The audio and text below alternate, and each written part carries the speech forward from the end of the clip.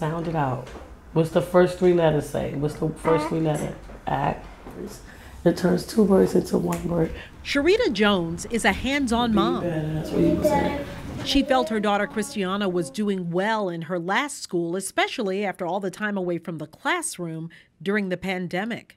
Christiana was a great student in class, not a behavior problem at all. I thought that she was doing great from the last report card. But when her daughter Christiana moved to a new school, she learned her good report cards had not been telling the full story. It was extremely surprising to find out that she was on a lower reading level than what I thought she was. The new school's assessments showed the nine year old was actually three grade levels behind. Add the rest of it in there. True. Lee. Actually, So what's the word? Actually. Exactly. Actually. Good grades can be deceiving. Maya Martin Cadogan is the founder and executive director of Parents Amplifying Voices in Education. What we actually know is that many kids are not on grade level, and that grades are oftentimes reflecting things that are not just about academics. They're reflecting behavior, attendance, participation. In fact, there's a dramatic disconnect with parents when looking at their own kids on how much academic learning has suffered since the end of the pandemic. Nationally, 9 out of 10 parents, regardless of race, income, or geography, believe their child is at or above grade level.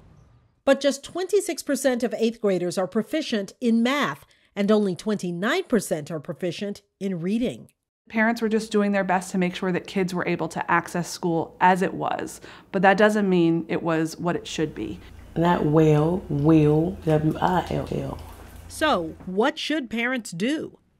Parents need to first just ask questions of their child's teacher. They need to ask what grade level their children were reading on, what level math their children were doing, and then ask what you can do at home with your child in order to support them, and what additional programs they might need access to to extend their learning through summer programs. I would say to parents to not be afraid to ask for help. Having that shared power between me and the teacher is a wonderful feeling. Jones is now working with Christiana's teacher to understand where she needs help, and she's seeking learning opportunities outside of school for this summer. It's a good mixture of both summer camp and summer education at the same time. I love solutions.